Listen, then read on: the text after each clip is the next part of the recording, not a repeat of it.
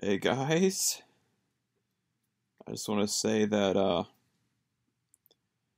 unless we see how uh, finished it is, unless we see how happy our God is, unless we see who we truly are made in our happy Abba Jesus Holy Spirit's image, and unless we see it, that you know it's going to be good in the end, we can't really truly rest. We can't really truly have the peace that we're designed to have. And we have that peace, but we're supposed to resonate with that by seeing that, by beholding that holding of Abba Jesus Holy Spirit holding us perfectly. They're holding us in, in their perfect love embrace forever. The work is finished. They completed us. They know who we truly are in their image. And they hold us in that image forever. And they know that they're going to wake us up. They're, they're, they're unconditionally committed to unconditionally wake us up to that at any given moment that we hear this good news or any given moment that they just want to randomly wake us up or randomly it's not really according to their plan wake us up we come to rest. We come to see how happy they are, how they're nothing but light and love and happiness and bliss and peace and joy and freedom. They're just so amazing. And we're created to enjoy their embrace of us. We're created to enjoy them enjoying us and who they truly know us to be, made in their happy image. And the work is all finished. We're fully in union with the happy God. They've lifted us up into their very swirl, into their very divine nature, so we can know what they've always been knowing about themselves, which is the best thing ever. So we can truly enjoy what they've always been enjoying and rest.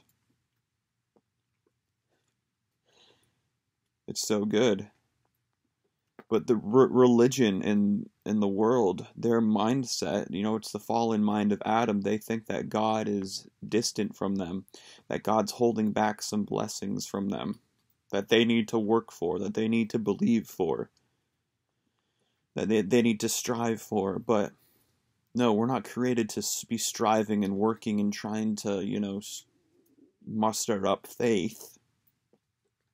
No the bible says faith comes through love as we behold Jesus, as we see him, as he reveals himself to us, it says he'll, he's the author of your faith. That faith works through love. When you know how loved you are, you have faith. Love believes all things. Love knows all things. You just know everything. You just believe. You can. You you know that your Abba Jesus and Holy Spirit, this God of this triune God of love, wants to give you everything and has given you everything. They they show you this glorious finished work reality that they have given you all blessings, that all the spiritual blessings, that you have every good thing that's in Christ, that you're complete, that everything is new, everything is reconciled. That you're whole, that you're healthy, that you're in heaven on earth, seated in a posture of rest in Jesus' posture of rest because he knows it's finished and he's satisfied.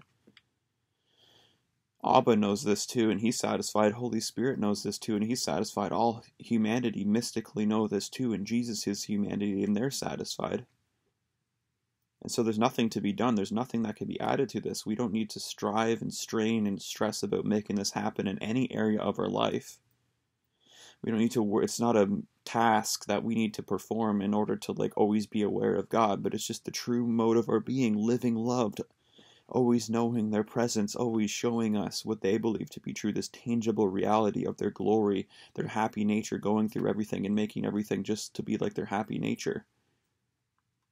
Where everything in creation is is existing in their happy selves, their happy nature, their happy being unconditional love. It's unconditional. Our belief doesn't condition them to love us.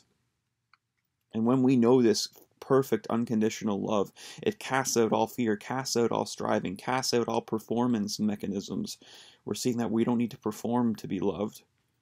We don't need to do anything to be loved. We just are loved forever. And so we can really, so we just wake, and they show us that we're loving just like them, that, that we're meant to, to, to live knowing that we're loved and love other people as we know how loved we are. We just love other people. We see that that's our true nature too, living through their true nature.